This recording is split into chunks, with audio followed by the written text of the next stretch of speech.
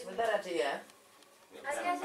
nanti mobil off-road Sebagai bentuk kepeduliannya terhadap lingkungan agar tetap bersih dan sehat khususnya dari sampah berbahan plastik, Taufik rela memungut sampah yang berupa botol plastik di mana pun dia berada.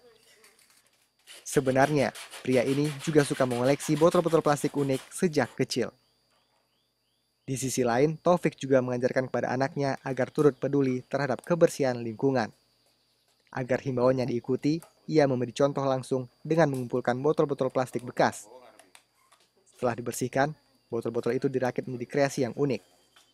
Bermodalkan gunting, lem tembak, dan piloks atau cat semprot, Taufik menjadikan salah satu ruangan di rumahnya menjadi bengkel kreatif. Berbagai botol digunting dan direkatkan sesuai dengan bentuk serta kebutuhan. Untuk satu buah miniatur mobil, ia membutuhkan waktu minimal 2 jam tergantung dari besar dan tingkat kesulitannya.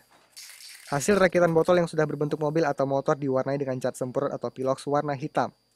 Berbagai komunitas pecinta mobil seperti halnya dari Sumatera, Kalimantan, dan Bali banyak yang memesan.